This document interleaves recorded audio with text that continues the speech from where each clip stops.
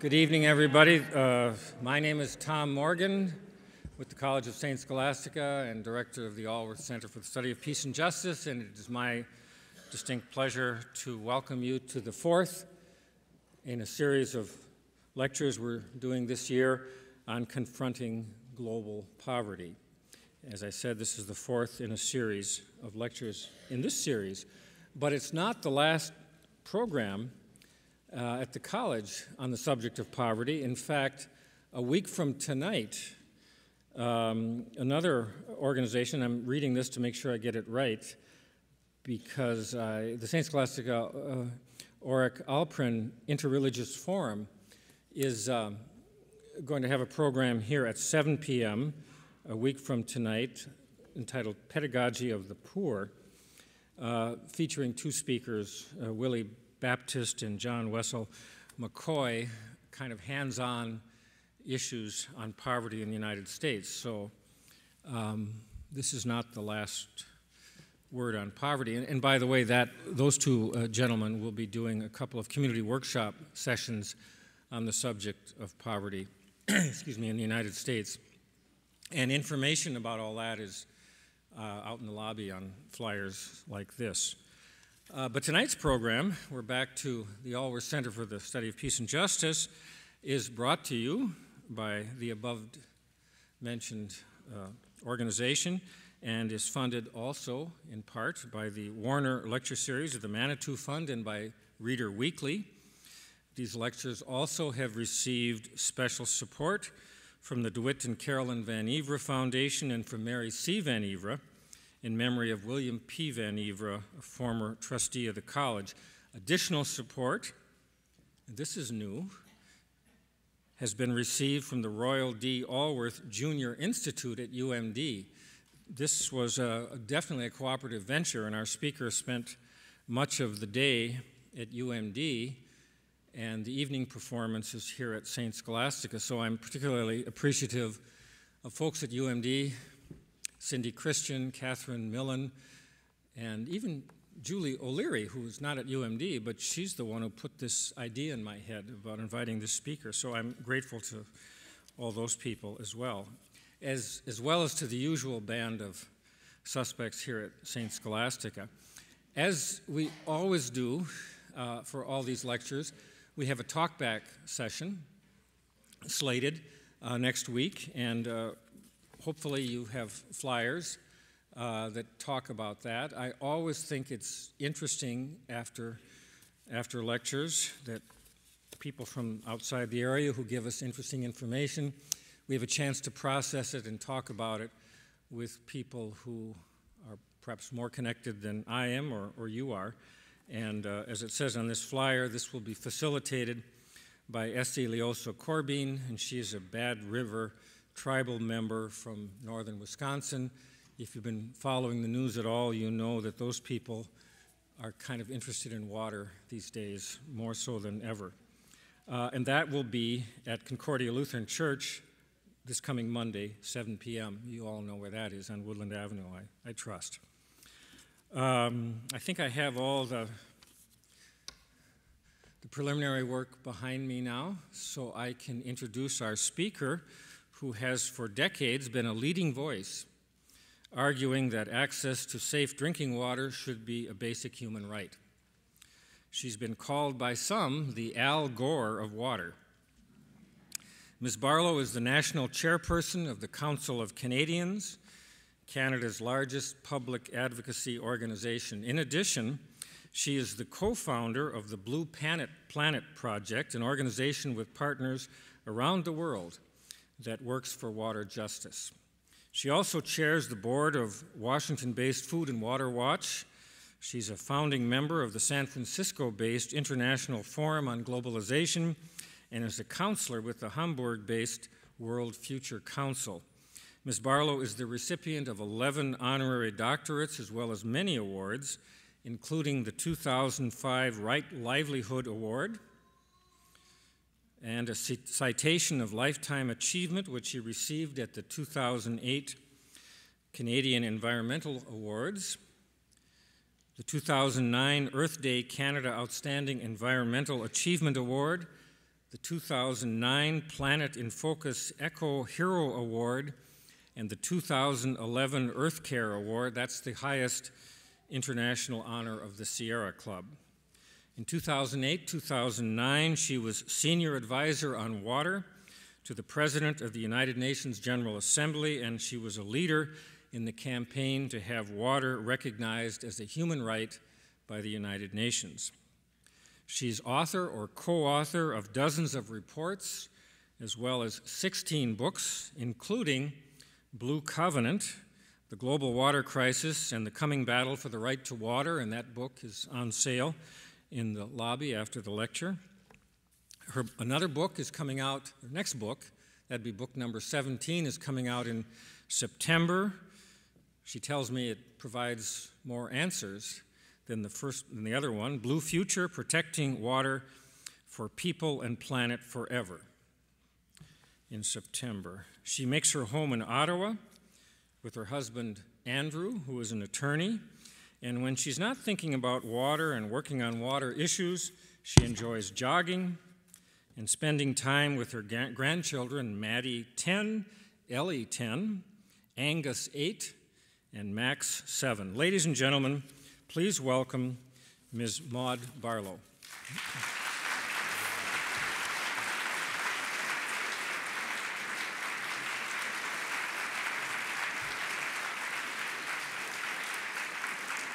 Wow, thank you very much, Tom, for an absolutely lovely introduction and a very warm and human uh, introduction. Um, and thank you all for being here tonight. It's one of the first uh, spring evenings, and so the fact that you're here is um, doubly um, lovely for me. Thank you. Um, not that I compare myself in any way, but um, I once read that after a very moving introduction, Winston Churchill said he could hardly wait to hear what he had to say. I always think good introductions should come after in case people say, oh, she wasn't that special. I don't know. Uh, thank you to the College of St. Scholastica, St. Scholastica. It's just wonderful to be here. To the Alworth family and the other sponsors. Uh, to Catherine Malone from UMD, who has been my host all during the day. We had a wonderful workshop uh, today on the whole co concept of public trust for the Great Lakes. If anybody's interested, do contact Catherine, who's doing work on this. And I want to say a special welcome. I don't know where you are in the room, Josephine, but we have a very famous and wonderful person in the room with us. Her name is Josephine Mandamin. Where are you, Josephine? Josephine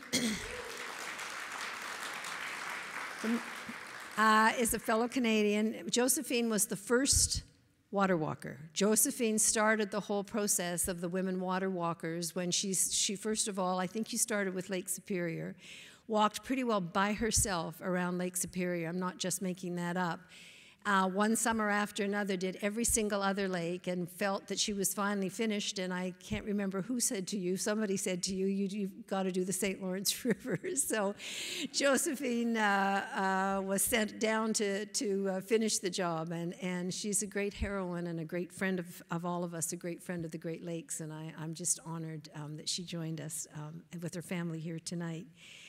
So I'm going to talk a little bit about uh, the crisis globally, and I want to come back here to the U.S. But and I do want to talk about the twin crises of um, poverty and uh, water injustice. But also, I want to talk about uh, the the issues of climate and the the water crisis, the actual environmental crisis. And I want to start off by saying we have a tendency to separate those issues particularly in the water world, I find there's the scientists, the environmentalists working on the environmental crisis, chronicling the loss of water, the pollution, and so on. And then we have people doing the human rights poverty work, development work over here, and they're just like in separate planets. And I think it's wrong.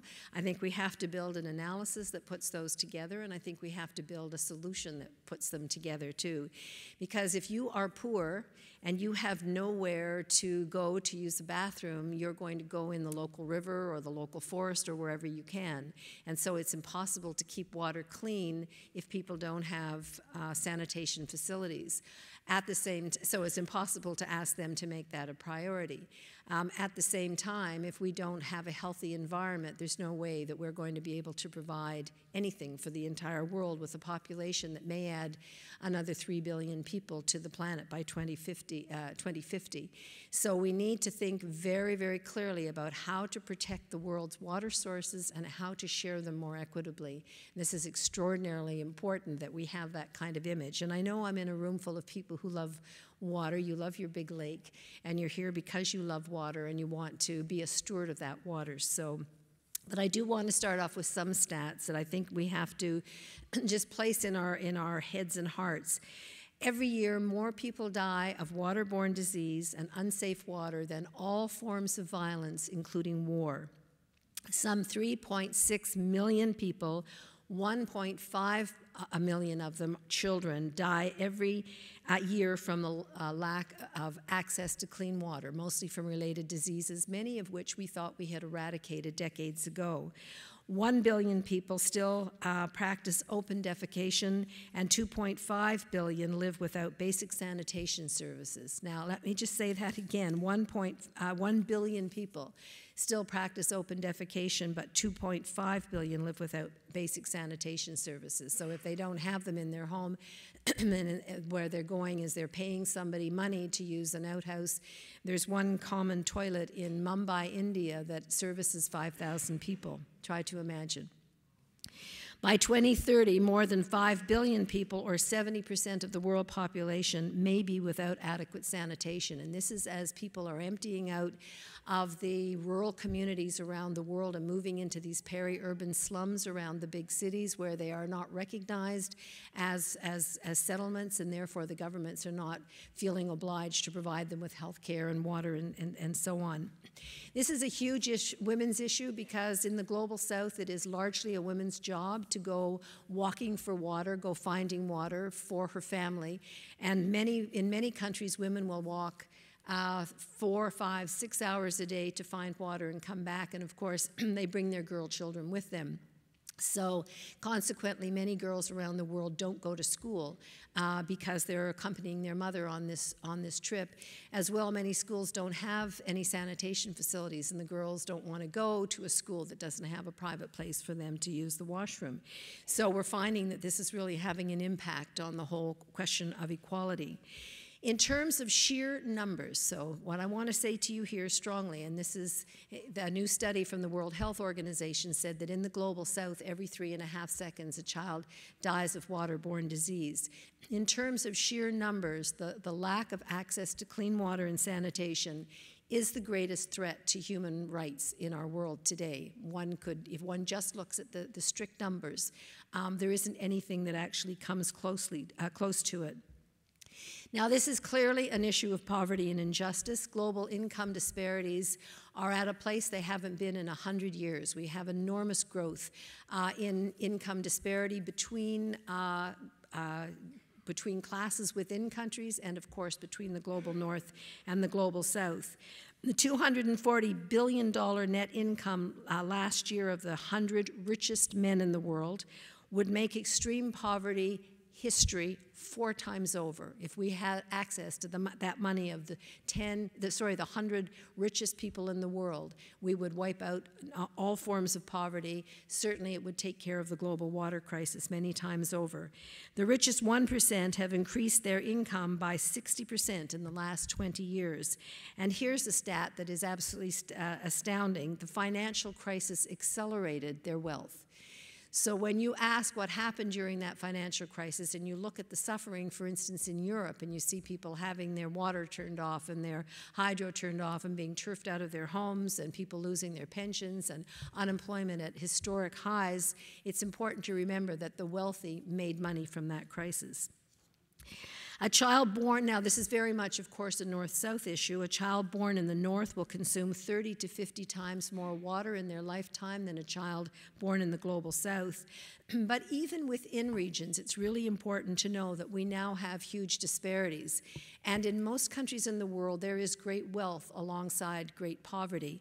I remember going to the World Summit on Sustainable um, Development, which was the second Rio. That was the one back in 2002 in Johannesburg, South Africa. And oh, they held the, the summit, the official summit, in uh, a community called Sandton, which is the financial district, the financial heart of all of Africa, not just South Africa, and with you know huge five-star hotels and gorgeous golf courses. To get into the meeting, you had to go buy uh, advertising for De Beers diamonds and, and Cadillacs, and it was just it was just money. And between Sandton and a township called Alexandra, there's a river that has a little river that has cholera warning signs on it. And if you just cross over a little bridge, you go from this incredible first world luxury to absolute complete abject poverty with no running water, kids with no uh you know shoes on their feet, rats in the gutter, and so on. And we were there one day. Uh, the government had, with using a private company uh, called Suez, had put in water meters. They brought in a pipe, uh, a state-of-the-art pipe, a state-of-the-art tap, uh, right up to each block, not to each house, but to each block of hovels. And we're talking really tar paper shacks, but they were state of the art, carrying lovely clean water. But between the pipe and the, and the tap was a state of the art uh, water meter. And the only way you could get the water was to go get your electronic key charged up. You had to pay money for it, and then you touched it, and then every drop that you took, you were charged for. I remember standing with one activist who said it gives new meaning to that saying water, water everywhere, but ne'er a drop uh, to drink. Because, you know, when you've got 80% unemployment, people don't have they just simply don't have money. So it's very important for us to know that even in the global south, there are these disparities. But it's not just in the global south, and I want to make this case very strongly to you tonight that here in North America and in Europe, where we are seeing a double whammy of increasing water prices, often because of privatization, and increasing economic disparities and more people in poverty, we're seeing water cutoffs here. In Detroit, Michigan, the government, uh, the municipal government cut the water services to 42,000 people about five years ago, mostly African Americans, elderly people, some single mothers. Uh, I've been working with that community. There's a wonderful community that's come together to put together that the justice issues around the right to water and and uh, the you know people's poverty uh, issues and the environment and saying well whose Great Lakes are these? And you know why can't we have water from the Great Lakes when we're, we're right here? Um, and but they say that it's probably closer to 90,000 now. They've just kept cutting the, the, the water. And we're talking about people who are actually going out with buckets and and you know laden down with with just as you see in third world you know pictures in the third world, going out into parks, into libraries, in anywhere they can to fill up the buckets and take them home. And there have been cases where Social Security has come in and taken, or social services, I mean, and has taken their kids away because there's no water. In the uh, in Europe, where they have this. Um, crisis, the austerity crisis, they are selling off the water services and they've raised the price of, of water really dramatically. And there are a lot of cutoffs in countries like Greece and Italy, um, all the, the, southern countries, the ones that have, have, uh, have had such trouble making their uh, debt uh, relief uh, renegotiations. So this is not just an issue in the global south. And as water gets more scarce around the world and as water prices go up and and there are more poor people, we are going to see this issue in the, in the so-called global north or the first world as well. For my mind, the global, the water issue is deeply connected to an, an, inequitable, wrong, in many ways, uh, global economic system, which is based on some values that I think are absolutely false. It really is about competition and the, and the race for money.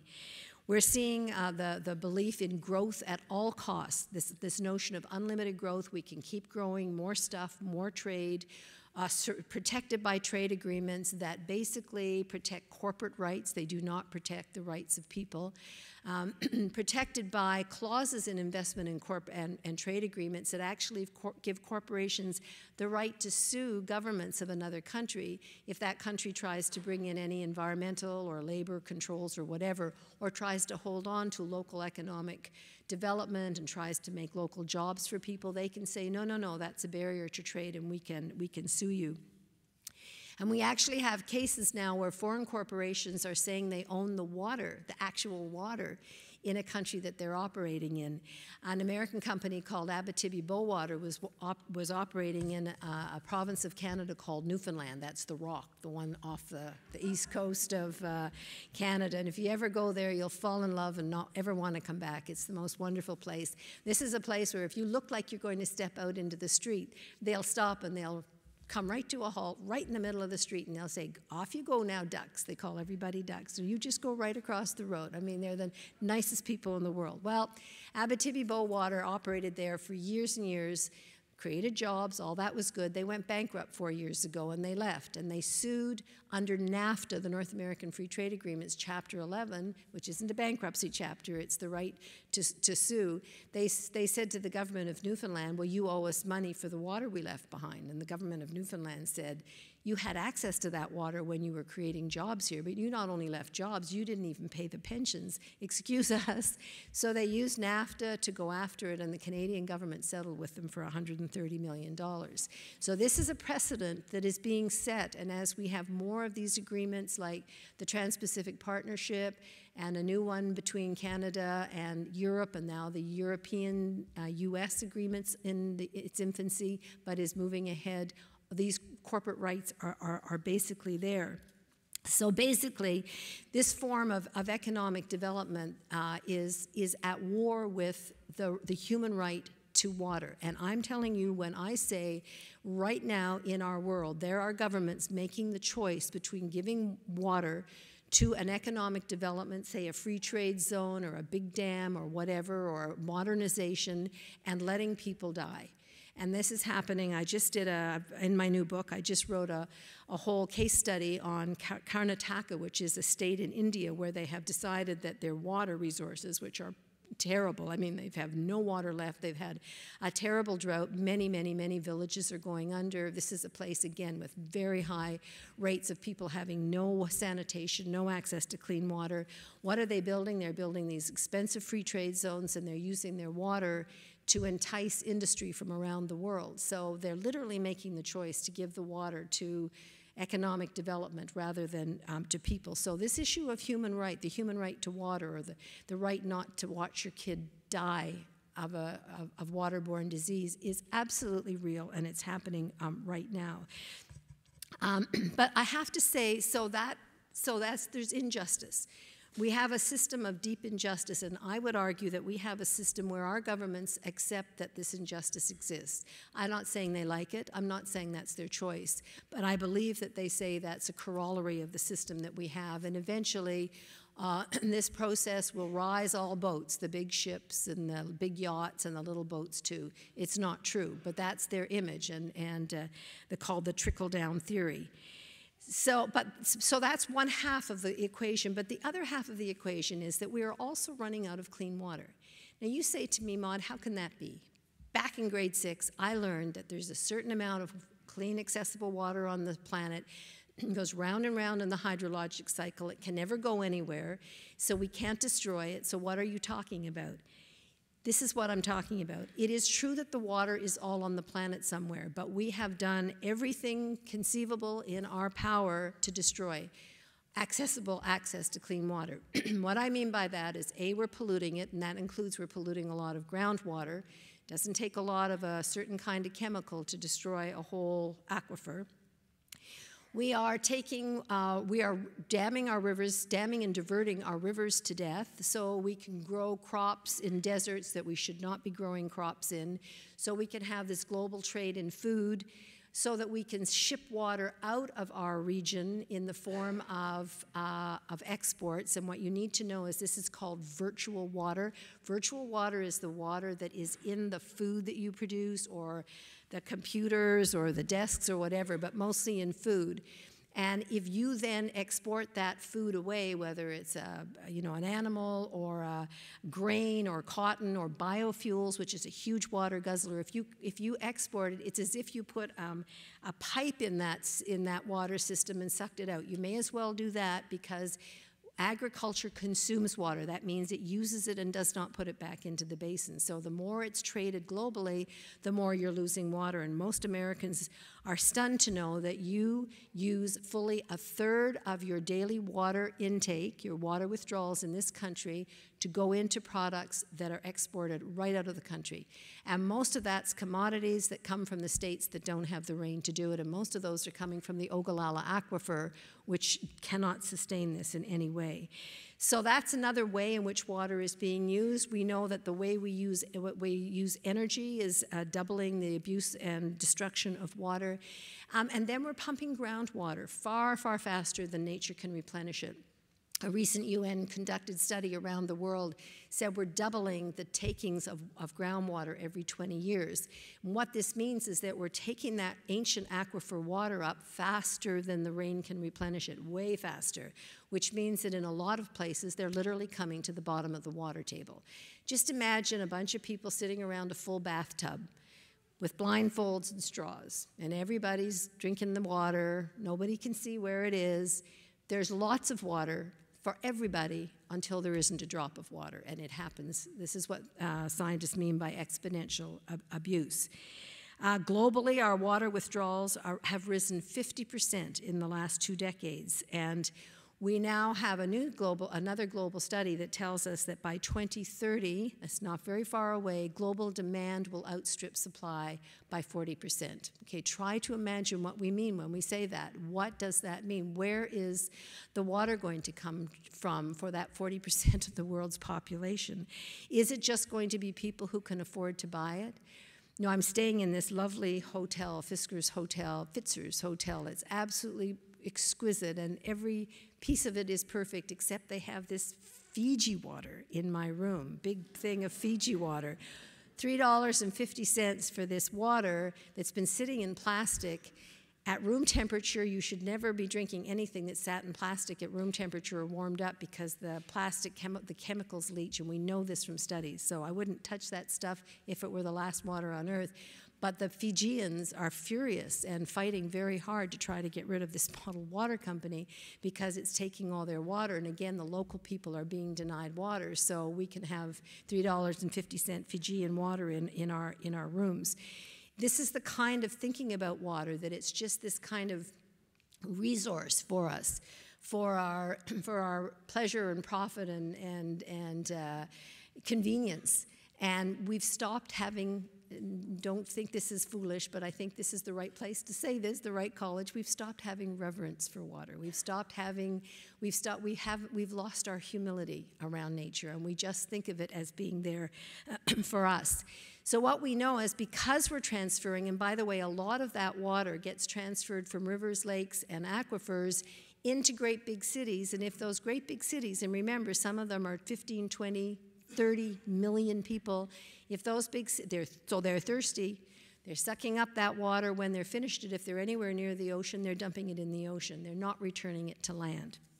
So one of the, another recent study said that one of the major causes of the oceans rising is not climate change as we've understood it. It's not just greenhouse gas emission warming. It's actual transfer of land-based water in, into the ocean.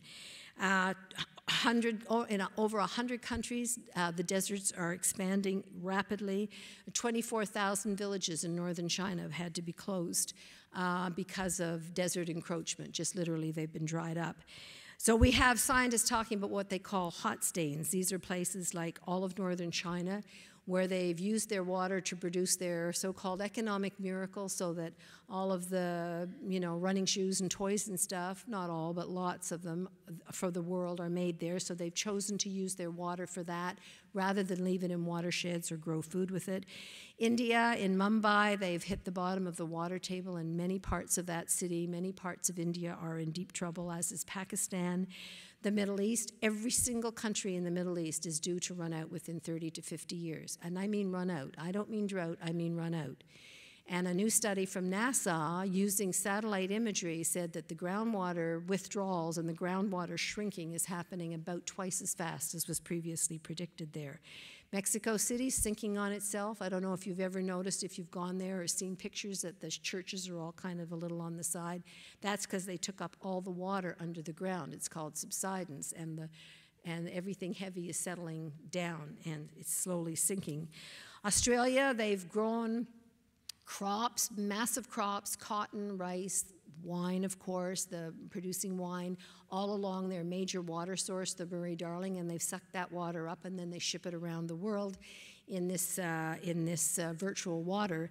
Um, and the Murray Darling, every couple of years, just stops reaching the ocean. So Adelaide, which is the city right at the bottom, is having to build very expensive very energy consuming um, uh, desalination plants because they're, they're um, terrified and desperate.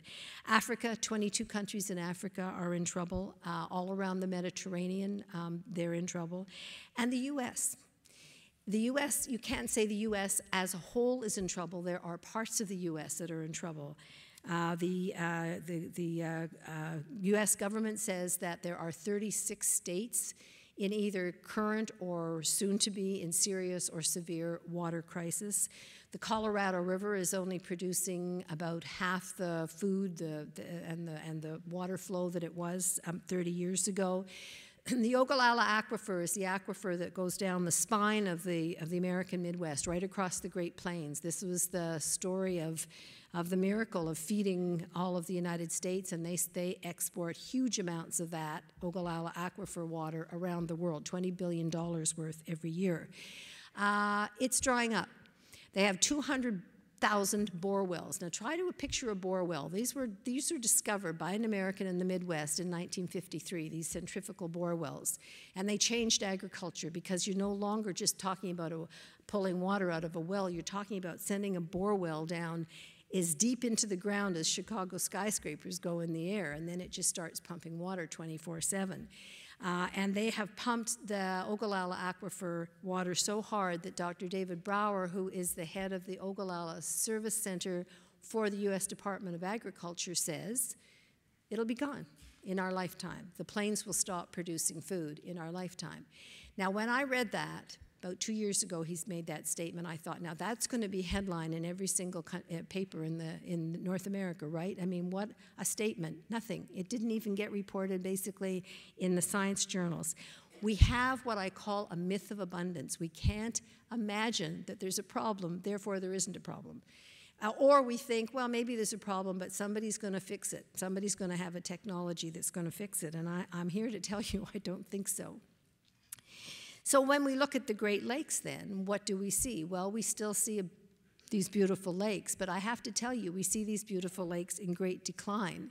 We see beautiful lakes that have invasive species, multi point pollution. We have uh, lakes that are in such decline in terms of the, the depth that the uh, American government, that your government, put out a statement uh, a couple of months ago saying that the, the Great Lakes are now at the lowest level they've ever been recorded since they started taking records in 1918. Um, now, this is not just climate change, although climate change is a big part of it, because 70% of the ice cover is gone from the Great Lakes over the last three decades. So that means the water is evaporating faster than it should be. But we're also talking about um, over extraction, just taking all of us around the lakes, taking more out of the lakes than we're putting uh, back in. And I have to tell you about a new concern that I have, and that is that the tar sands bitumen from the tar sands of northern Alberta, which is a very huge operation to take this bitumen. This is stuff, this is oil that's stuck in muck, basically, in sand and water. So to get it out of the sand and water, they have to steam blast it using massive amounts of water. And in Alberta, what they've done with that water is they leave it in huge lagoons that are just absolutely one of them. The Syncrude site is the second largest dam in the world. The only larger one is um, uh, the Three Gorges Dam in, in, uh, in China.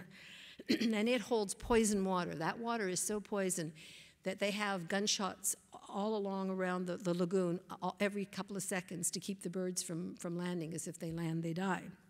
This is the dirtiest oil on earth. And it is coming right through your community in a pipeline called the Alberta Clipper. You know about the Keystone issue, but you might not know that the Alberta Key, uh, Clipper is bringing the same crude into your community. It's going to Superior where it's some of it's refined, some of it's passed on to other refineries. And now the latest project that they're proposing is that they open up the dock in Superior, get that crude, and we're talking still, it's, it's filled with chemicals. It's called, uh, um, it's diluted bitumen, so it's called dilbit. It's diluted with chemicals so it can move through the pipeline because it's still this really heavy stuff, hasn't been refined. They want to take this dilbit and they want to put it in barges and ships and ship it around the Great Lakes. They want to ship some of it back to Canada riddle me that. Like, how does this happen, right? They want to ship some of it down the, down the St. Lawrence to the eastern seaboard. So we are, you know, we are watching now, in my opinion, a whole new wave of threats against the lakes, including um, fracking and including mining on this side of, of, of, the fracking on our side of the border more, I think, um, but and the New York side, of course, and then um, uh, you know the, the, the mining, the new mines that, that are being proposed. Now, how does this come to this? Because we do have governments that have, have all these air quality agreements and water quality and fish quality agreements and all of that, and we've got all these great environmental groups. I would argue there are two reasons. One is that we have so many jurisdictions eight states, two provinces, two countries, all these municipalities, and they haven't coordinated their coming together around what needs to happen. and I, my argument, my answer is we've got to start thinking in terms of watershed-wide governance. That's the answer here. We've got to we've got to see the Great Lakes as a lake, a watershed, and we have to change our, our, our kind of governance. But I think the major issue is that too many people do not see it as a living element that gives us all life, that is the basis of an ecosystem that gives us life and livelihood. I think too many people look at the Great Lakes and just see it as a big dollar sign. And when we see nature as a big dollar sign, and when we only see it as a resource to serve us, that's part of that system that creates the kind of injustice and poverty that I started this evening off with. Because I deeply believe that if you have reverence for the earth and other species, you have reverence for other people, and vice versa. If we can start to see the equality uh, uh, of other people um, who may live in very different circumstances. And if we can start to open our heads and our hearts, come up with better economic and social and development models, this is going to be good for the environment in a, in a very important way. Um, we have conflicts growing around the world on water. We have the conflict around who owns water. Should it be a, a commodity put on the open market for sale, like running shoes or Coca Cola? The head of Nestle, a guy uh, named Peter Brabeck, says, Yep, that's what we should do. He says, Well, he fought us on the right to water until we won. And then he said, Okay, let's put 1.5% of the world's water aside for the poor, and everything else goes on the open market like oil and gas. And then it'll just go to whoever can afford it. Uh, maybe those without money will die. He doesn't say that, but it's got to be the next statement, doesn't it? I mean, isn't that the corollary to just let it go where the market takes it? Uh, and so we've been fighting privatization of water services, where the World Bank has basically gone into countries and the global south particularly and said if you want funding for water, you have to bring in a private company. I was involved uh, with the Bolivian uprising when Bechtel, which knew nothing about water, a big engineering company, was given the contract to uh, deliver water in Cochabamba, Bolivia. And uh, the first thing they did was raise the price of water three times, and this is a largely indigenous, very poor country, people could not afford it. And then they said, not only do we own the water services, we own the water coming out of the sky. And if you're collecting water, you owe us money. And they had inspectors going around telling people that they had to pay for the water that they collected in cisterns on their roofs. So there was a revolution led by a four foot seven shoe mechanic, a hero uh, named Oscar Olivera, who'd never been outside his community before, and we've brought him all over the world to speak on this now. But at the time, he just he didn't know he wasn't he didn't think he was brave. He just saw something deeply wrong and led this revolution. People were killed. They brought in the army, but eventually the people prevailed and the company left and uh, sued under one of these trade agreements, these investment agreements, but we embarrassed them so much that when they won, because technically they had been kicked out, uh, they settled for a dollar. So it was a it was a nice it was a nice win on our side, and the government, the new government of Evo Morales, just basically said no more privatization. We're going to take care of our own our own water and people. Then we have bottled water. I mean, if you were to take the individual bottles that we all, uh, not we, but some people consumed last year, put just the little ones and on just water, and put them end to end, they would reach to the moon and back 65 times. Just try to think of the garbage we're putting into our environment, into the oceans, everywhere, when you can turn on the tap. Not everywhere, I grant you, but surely here in Duluth, you can turn on the tap and get the sweetest water in the world. Then we have water trading, where water gets, uh, a company gets to own the actual water and then gets trading. And we have in this country T. Boone Pickens, the energy gazillionaire, who's now hoarding water from the Ogallala aquifer and selling it to developers. Um, and I believe that's wrong. I think we have to say nobody can own water. Water belongs to all of us, belongs to the future, it belongs to other species. You can use it, you can pass it on, but you cannot own it and sell it and hoard it while other people are dying for the need for it. So, solutions. Um, there are many, many people doing many wonderful things around the world, but I guess the most important concept I want to leave with you tonight is in a world of declining water stocks, increasing demand, and increasing inequality, not just poverty, but an increasing wealth, but divided, we need to do two things really importantly. We need to take care of water in a totally different way. And number two, we have to share it more justly and equitably. That is what we have to do. And we have to do it while we go through this peak population. There's going to be a number of decades where we have a larger population, and then people tell us that that's going to fall off a bit. So while that's happening, we need to be uh, very conscious of, of, of sharing in a, in, a, in a particular way. So I would just put to you three fundamental principles that I think we need to adopt um, when we look at water policy generally and then, then maybe even the Great Lakes, because we're also here to, to talk about our local water. The first is that water is a common heritage and a public trust. And that means that we say the water of this particular watershed, in this case it's, it's the Great Lakes, belongs to the people who live on it and love it. It doesn't belong in the sense that we own it, but it, we are the stewards of this water while we are here. And we are the caretakers, and we have what I call the right to care. We also have the responsibility to care and the responsibility to care for. And so we want to see this as a commons, and we say that uh, it must be managed. We're not talking about an unmanaged commons where anybody can do what they want. We're talking about a fiercely managed commons for the greater public good and to ensure that this, this water commons is here for future generations because you know what? They have as much right to it as we do, and we need to have that in our heads. Public trust is the law. It is the way in which you, uh, through your legal systems, through your policies, you enact the concept of the commons. Public trust would protect water systems, in this case our Great Lakes, as a shared resource that is carefully governed for the good of the whole community. Uh, public trust has very deep roots in the United States. Uh, was used to curtail the diversion of water from uh, to Los Angeles from a lake called Lake Mono, which was a very fragile lake. This was a very famous case because it established that even the tributaries into the lake um, were considered a public trust. The public trust notion goes back to Justinian times in Rome. It, it was part of the forming of the Magna Carta.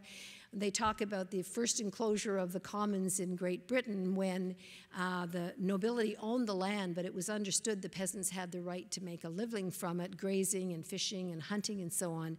But they brought in laws to say, no, you can't do that anymore. And, and many, many, many people died because they no longer had access to these commons. So that was called an enclosure of the commons. And many of us think about water privatization today as kind of the second enclosure of, of the commons or different forms of, of, of privatization. Uh, and this notion of public trust was used by Jim Olson and people in uh, Michigan, where they fought uh, Nestle, the big bottled water company, the same Nestle that has Peter Brabeck, who's, you know, he and I are oil and water. Uh, we have very different visions for the world's water. Um, and so this Nestle was in there uh, pumping huge amounts of water, and they took it to court. They actually won, but then the company appealed, and it, this goes on eh, eh, forever. But they did manage to have it understood that this water was a public trust. Vermont has a lot of groundwater Vermont was allowing, uh, well, not allowing, weren't stopping big companies coming in and putting bore wells in and just helping themselves to the water, a lot of bottled water companies. And four or five years ago, they um, decided to protect their groundwater as a public trust. And they actually said that in times of shortage, that they actually go so far as to say there are, there are rules around who will get access water for drinking and daily living, water for the ecosystem, and water for local uh, food, food uh, or, you know, sustainable food development rather than for uh, massive export. Um, really a wonderful model, and they, the people of Vermont have already used their public trust law against a nuclear power plant that was leaking tritium into the local water source. And the power, the, the nuclear company said, "Well, we that's our water," and the uh, the argument in court was, "No, there's a law now that says that that water belongs to the people of Vermont, and you don't have the right to do that." Um, number two, this is just my little water here. Thank you, Lake. Uh, the number second principle I would promote is the concept that water also has rights. And this is a little harder to get our heads around. This isn't just saying that we all have right to water, but water has some rights to be protected from us. And this is a new concept a lot of us are working on. Certainly, we know about conservation. We know that water has to be protected and conserved. Coming back to our Great Lakes watershed, we have to restore the wetlands. We have to do everything in our power. And we have to see the, the Great Lakes as one watershed and govern it as such. We need to ban fracking. We need to ban deep ocean uh, ballast dumping. We need to, uh, to ban bunker oil dumping. We need to ban these tar sands pipelines. I would like to be in a movement with you, Canada, and, and the people of Minnesota and Wisconsin to stop this uh, Alberta Clipper because it's, it's, it's as dangerous as, as the Keystone Pipeline. We should be banning bottled water. We don't need to take that beautiful water, put it in plastic, and ship it around the world. Um, and I would argue um, we need to ban the, the, the, shipments of nuclear waste from the Canadian side, which is beginning to happen. There's a lot of talk about putting it on barges and shipping it to some uh, parts of Michigan that apparently are prepared to take it. And I think we should say no, you cannot use our Great Lakes for that. And as I said earlier, we have to stop seeing these water resources as something for our personal pleasure and, and profit and convenience and see it as the, the giver of life. And we have to learn some humility and learn to take our place in nature. We need to see what I call, uh, uh, we need a new water ethic, and the, the water ethic needs to say that we need to put water at the heart of everything we do. Every law, every economic policy, every food policy, urban planning, instead of paving over rivers and streams, we have to let them flow and build around them and celebrate them and love them. And we have to, we have to take care of water, and we need to do it really quickly because the statistics I gave you uh, a little while ago are real and they're terrifying, and the water crisis is already here. So it's not as if we have a lot of time um, to do this. We're also working on the notion of something called the rights of nature.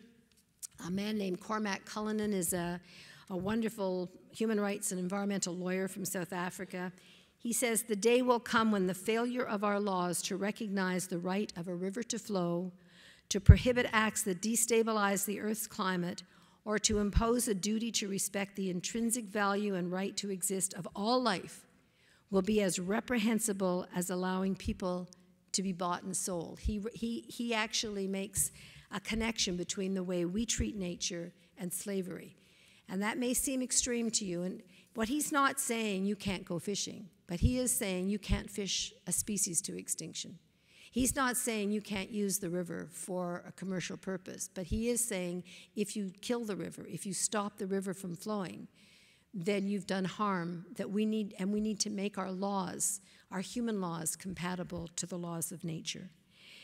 And finally, I would argue that we have to really implement and move forward on the, the notion of the human right to water. This is where I started off on the issue of poverty, and I'll end with this. It was a huge fight to get the United Nations to recognize the human right to water and sanitation. You might think it's a motherhood. I think it's a motherhood. It was a huge fight. Water was not included in the original 1948 Declaration on the Right uh, on Human Right of Human Rights because it wasn't seen as an issue at the time. It's only in the last couple of decades that we've realized that it's a huge human rights issue. And we've been working for two decades to try to get it recognized. Who's been against it? The World Bank, big parts of the UN, uh, an institution called the World Water Council, which is basically the big water companies. Uh, the big water companies, the bottled water companies, the big service companies like Suez, Veolia.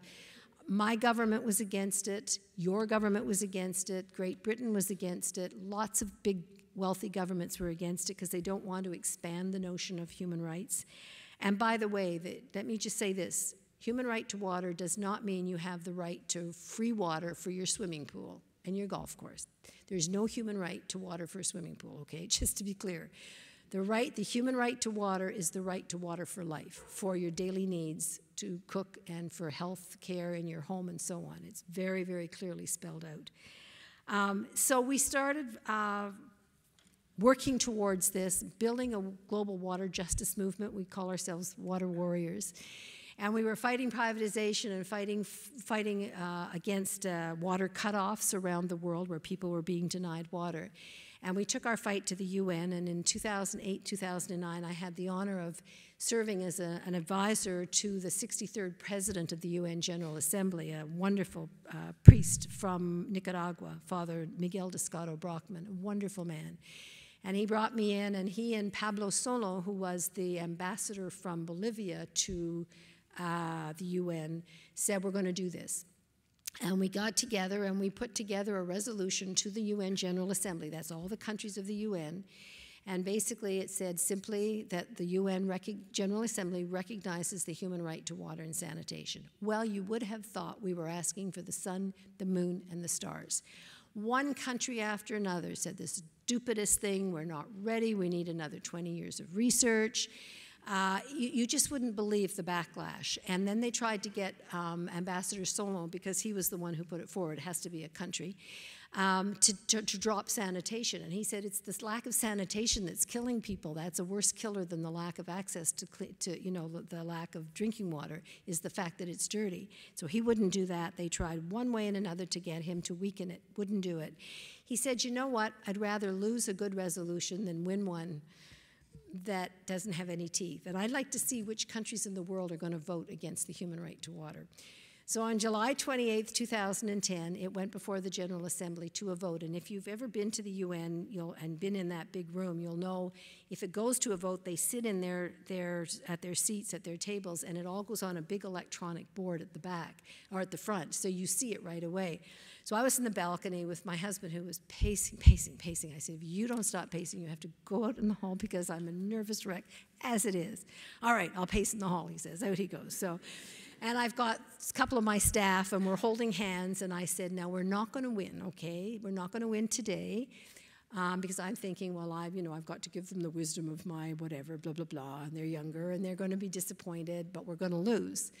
And uh, I said, We're not going to win, but we'll be back in two years, five years, whatever. We will come back and we will win one day. Well, Pablo Solon gets up and he gives a speech that it was so powerful, uh, so from the heart, from his country and the kids who are dying in his country, that people were in tears. And then they called the vote, and one after another, they voted yes. 122 countries voted in favor. It was wonderful. Not one country voted against, including the countries that were opposed, like yours and mine. Uh, and 41 countries abstained. That was yours and mine, abstained. Uh, and we won. Uh, it was an historic day. And in my, in my opinion, we took as a human species an evolutionary step forward that day. It was a very moving, very moving thing to be part of. Uh, and you should know, because this is a very good thing to, for you to know, that the Human Rights Council adopted a similar resolution two months later describing in detail what this human right to water means and what obligations it places on governments. And the United States by that time had joined the Human Rights Council and voted for it. So your country did, in fact, take a very positive forward step. And then at the Rio meeting in June last year in, in Brazil, all the countries finally agreed that they can't they have to stop fighting it because it's fait accompli. What it means basically is that many countries have since adopted the human right to water in their constitutions, and one after another, uh, groups that didn't realize the importance of this are beginning to use it. And I want to end with one story and, and, and, and one quick, um, and, and one, one, one story, one quote. The story I want to end with is a story of extreme poverty and injustice that has a lovely ending. So don't, I'm not going to depress you. It's a lovely ending. Botswana is an arid country, semi-arid country in South uh, Africa. And they have a big desert there called the Kalahari Desert. In the Kalahari Desert, they have bushmen, and they live the way their ancestors did. They have loincloths and spears, and they're hunter gatherers and they want to stay there. And the government of the day, the government who led this fight, a guy named Mogae, was educated at Oxford. And he wore $3,000 Brioni suits, and he was privatizing everything in his country, and he wanted it to be a big modern country. And he called the Kalahari Bushmen an embarrassing anachronism. He wanted them out of the desert and oh, by the way, they found diamonds in the desert, and that's what they really wanted, right? So, first of all, they started forcibly moving them out onto settlements, and people were killing themselves. The kids were drinking, taking drugs. It was awful. Some of the people started coming back to the desert. They said, This is where we belong. It's where our souls are, it's where all our spiritual, cultural selves are. They came back to the desert. The government came in and they smashed their bore well. They had one water well, one open water well, and they smashed it and they said, if you try to reopen it, we'll put you in jail.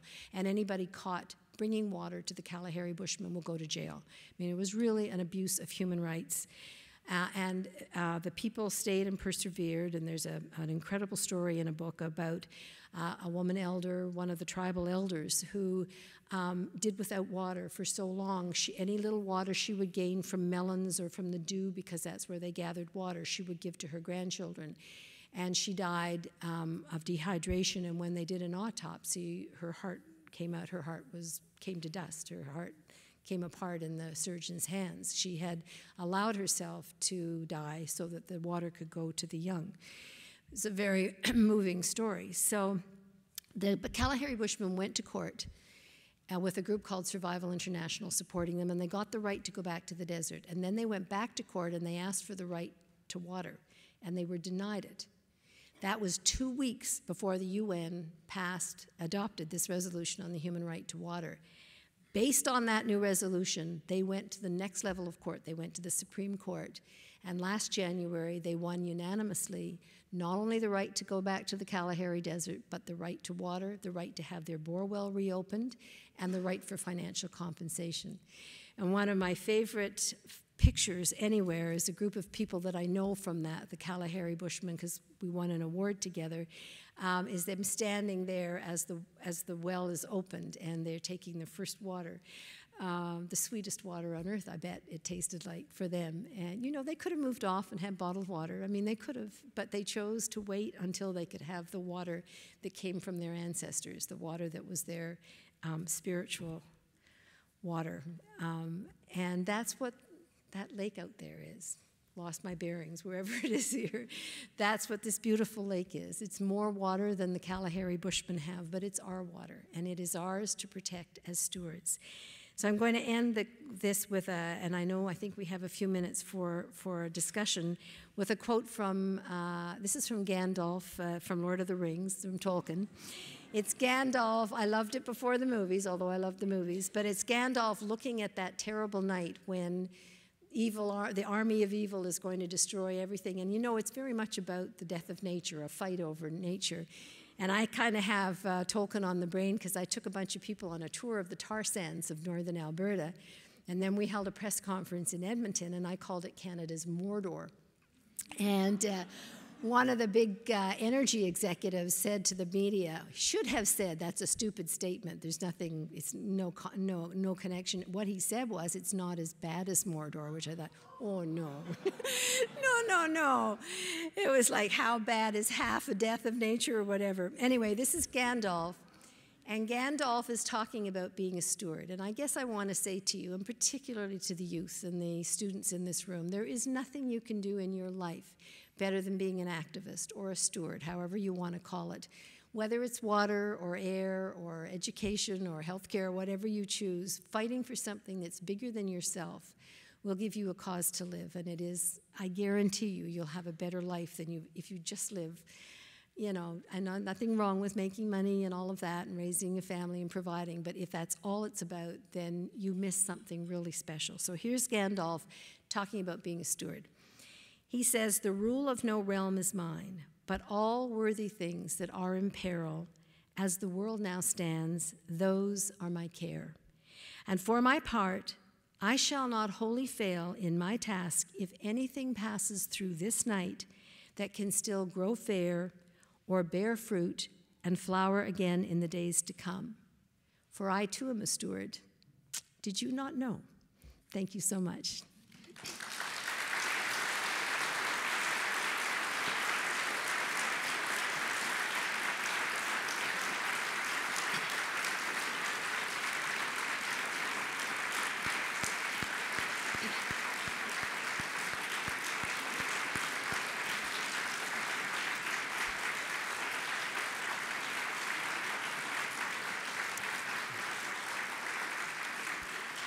All right.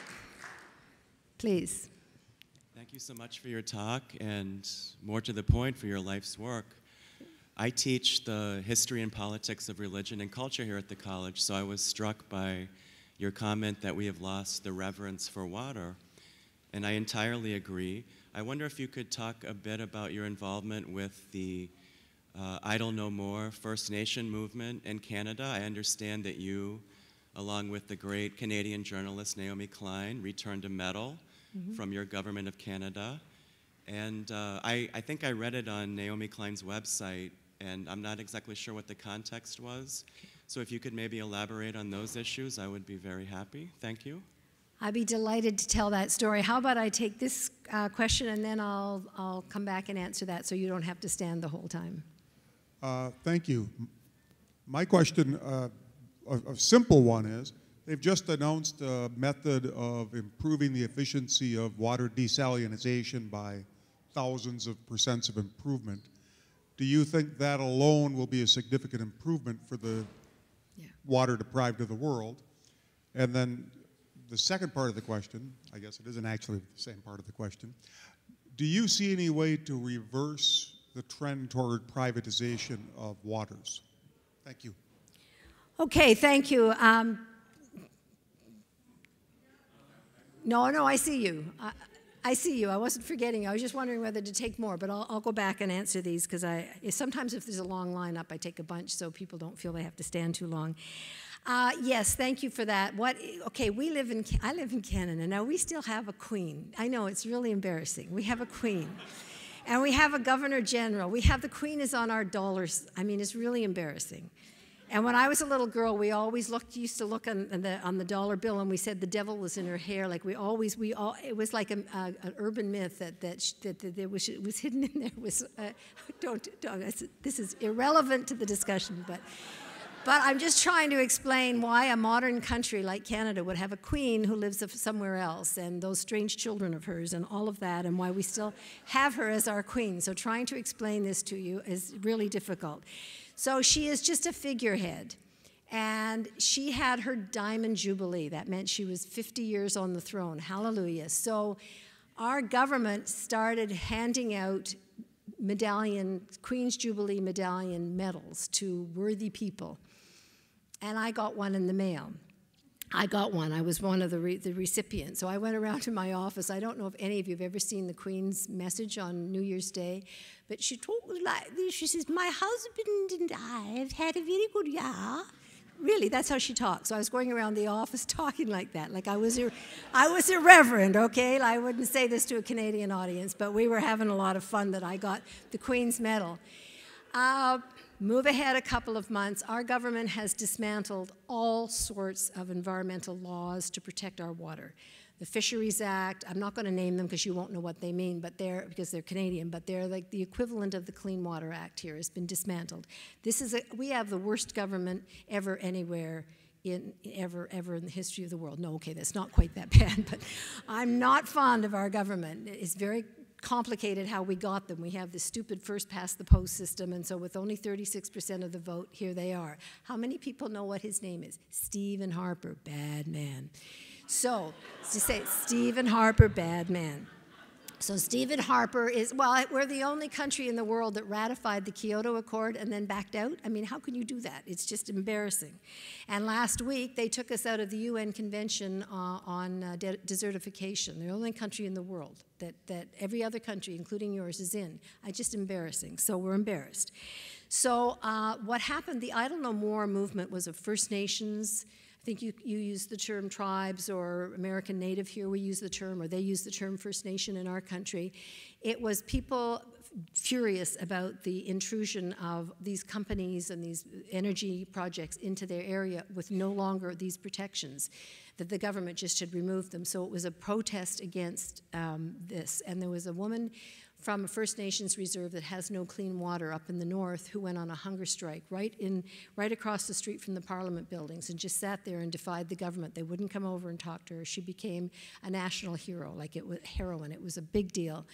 Um, and so I returned the Queen's Jubilee Medal because I wanted to show uh, solidarity to the to the First Nations because I felt that they had been abused. They were saying that they had the treaty rights had been negotiated with the king at the time, with the with the in, Crown of England, and not with the Canadian government. The Canadian government had no right to withdraw protection of, of, for them of their resources. I wanted to show solidarity, but it's really not easy to give a medal back. So we we got in a taxi, me and some of my gang at the office, and we I had a letter written to the Governor General, who's the Queen's representative. He's just a he's nothing. He's just nothing. He just goes to ceremonies and pins things on people. He's got no power.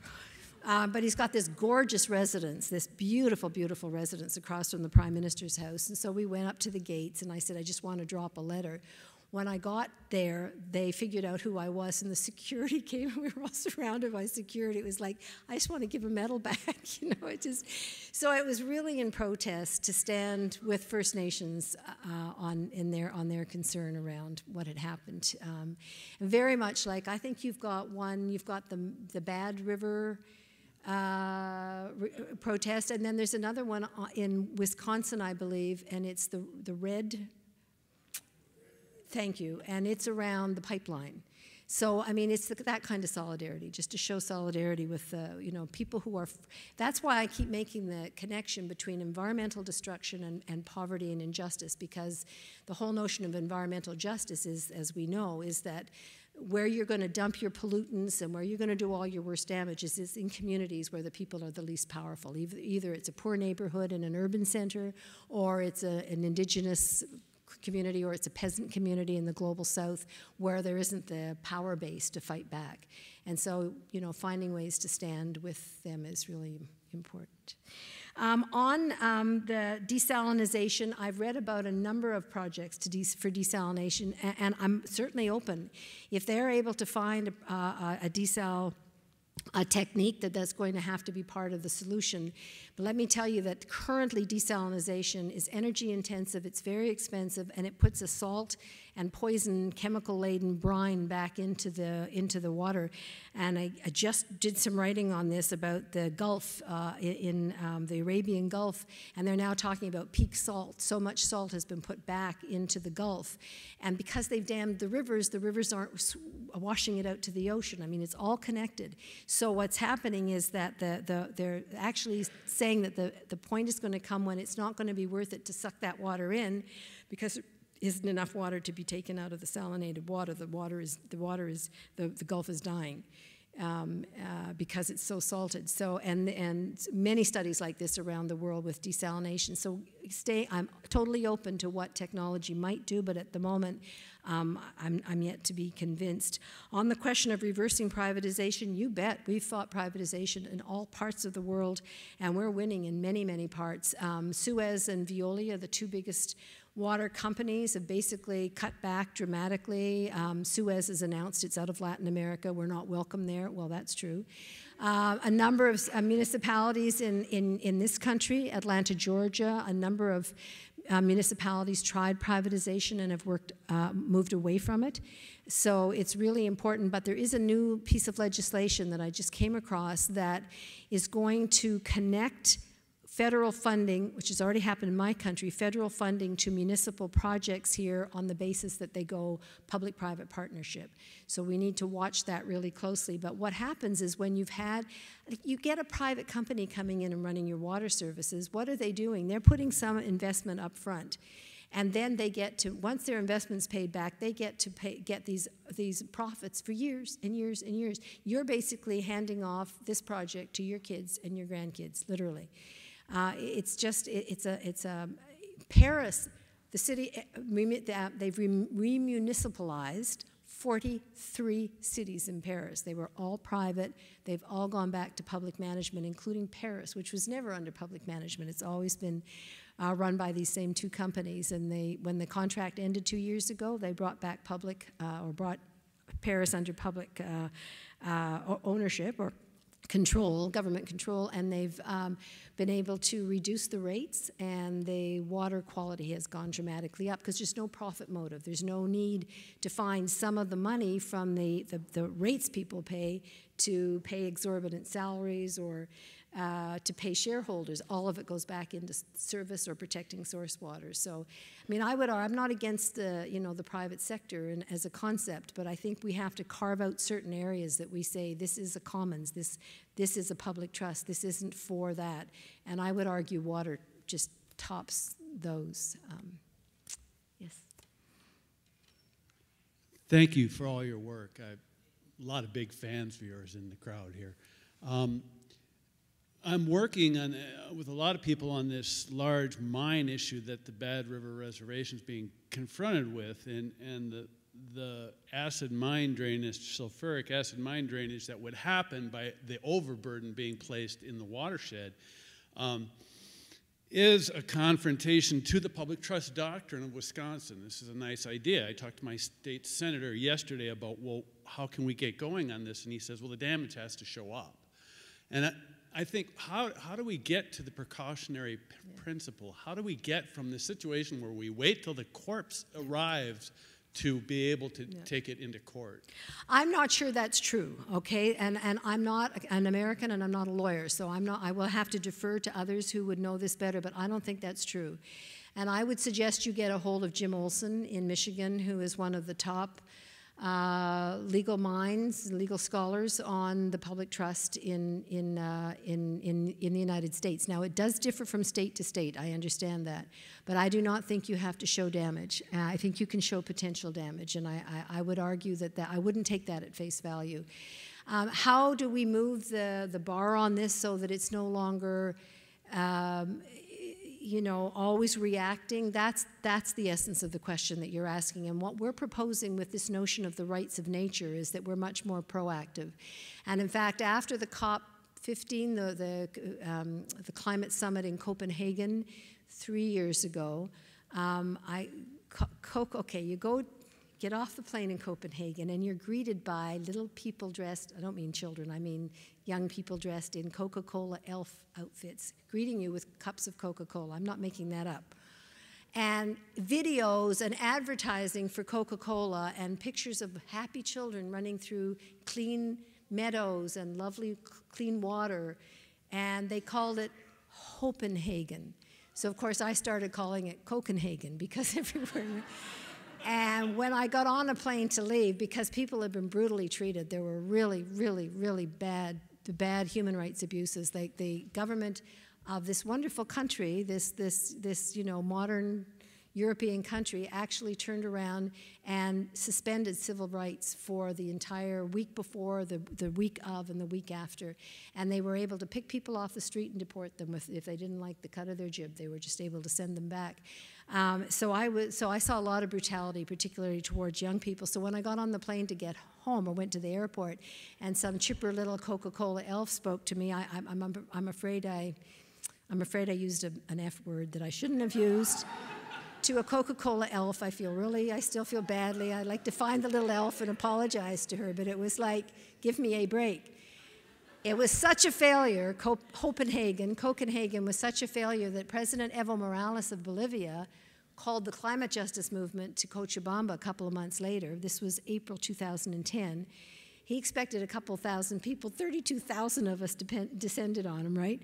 And out of that came a bunch of things, but one of the most exciting for me was a declaration on the rights on the right of the rights of nature, which we are hoping one day will stand side by side with the UN Declaration on Human Rights as a kind of companion manifesto of our time. And this notion basically is that as it currently stands in most countries, nature is property. And the only way you can get restitution if something has happened is if you can show your property was damaged. But that's not speaking for, the, for, the, for, the, for nature. Um, a friend of mine says, "What would happen if if the if the Gulf of Mexico could sue BP? you know, I mean, think of it.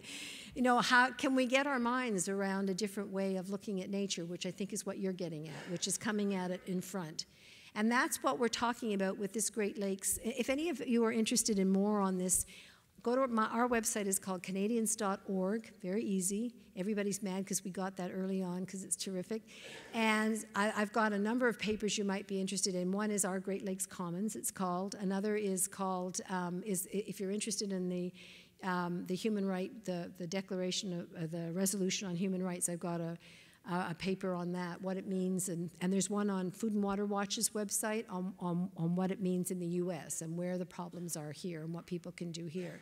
So there's been a lot of work done uh, on this since, but we really need to get a, uh, in front of it. And the, the idea around this Great Lakes concept of the commons and the public trust and seeing it as a protected bioregion is that we would be a step ahead and we wouldn't have to wait till the damage is done, which is, I think, the essence of your, of your question. I'll do this and then here, and then I, I bet I, I knew it. You and I are on the same page.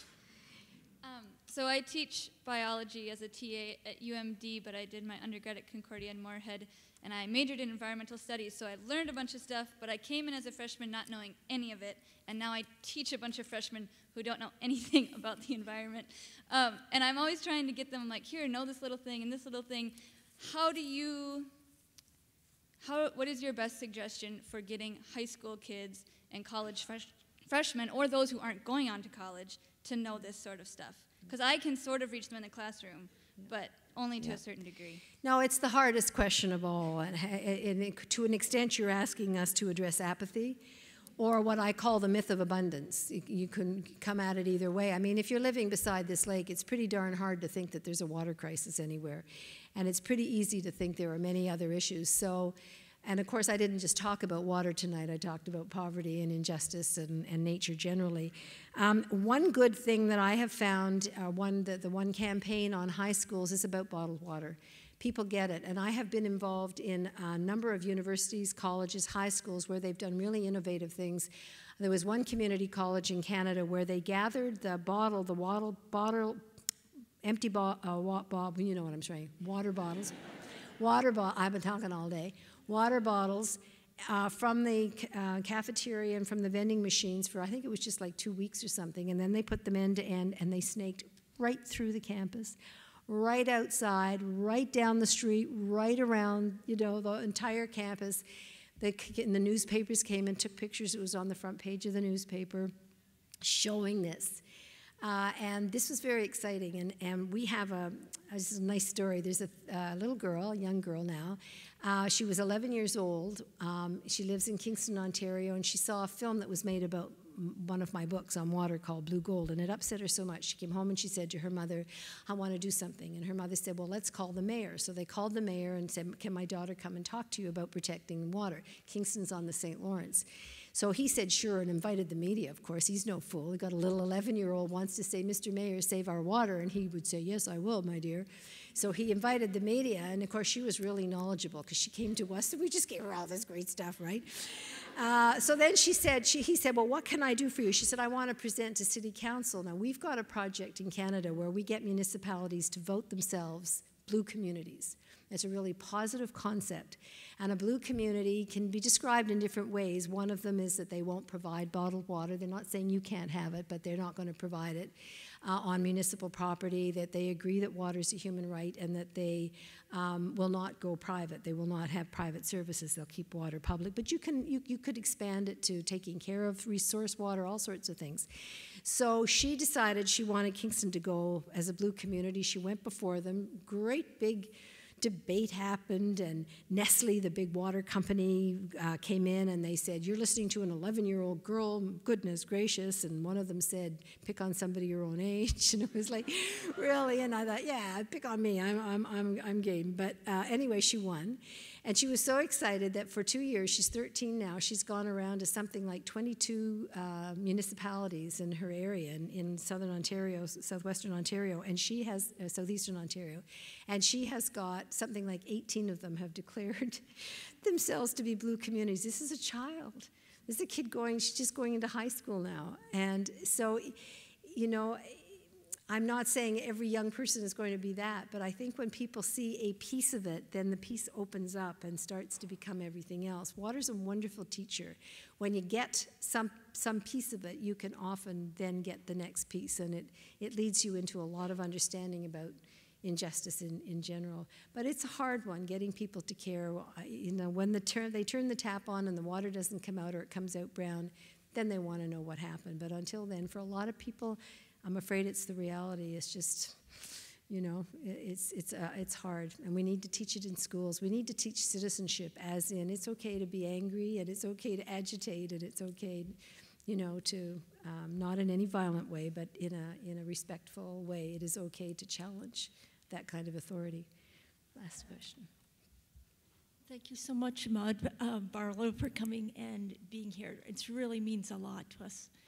Um, I too am working on the um, the proposed Penokee mine, and um, um, it, it's a really big deal for the lake because 40% of the wetlands will be affected. The, the, the hills gather up the water, and um, all the, the rivers that come from the north and the south side all end up in Lake Superior. It's like a big step right down to the lake.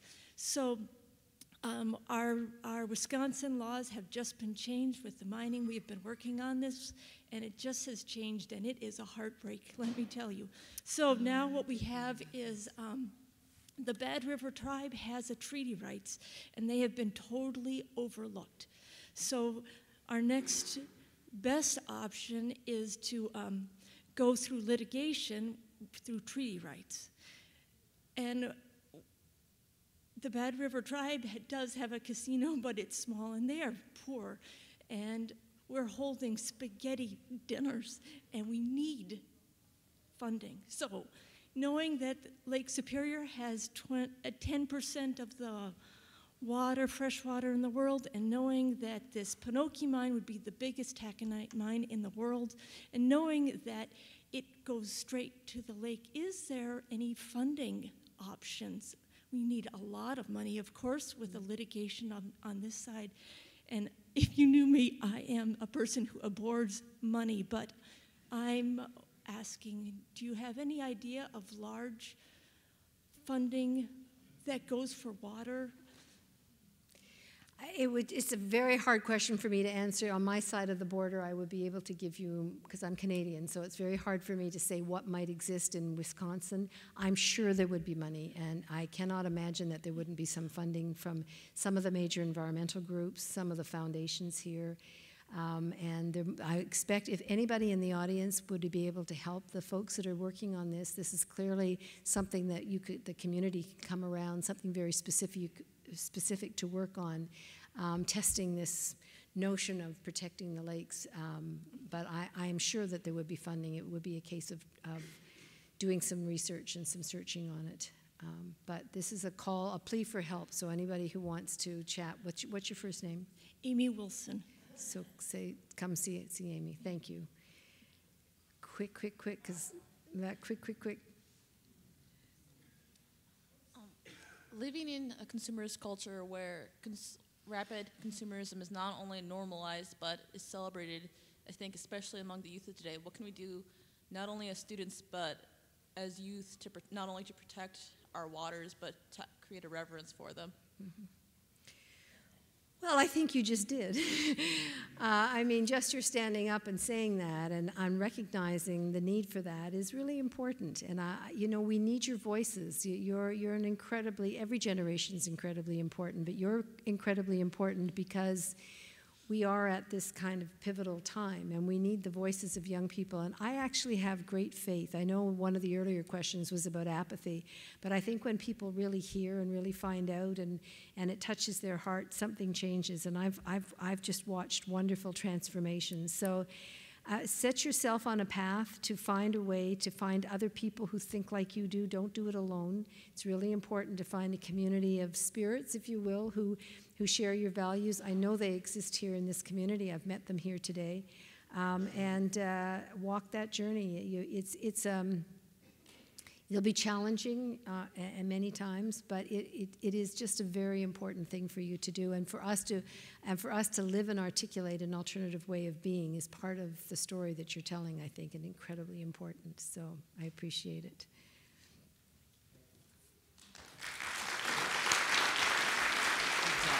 And I'll take you out.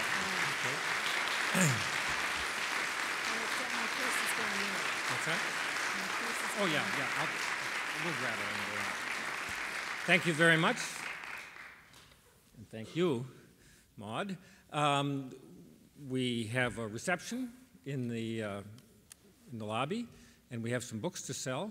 So we'll see you on the other side. Thank you all very much for coming.